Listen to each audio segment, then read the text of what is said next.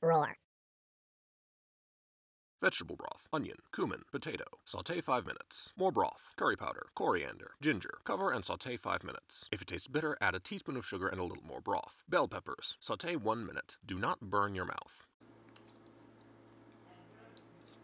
Yum.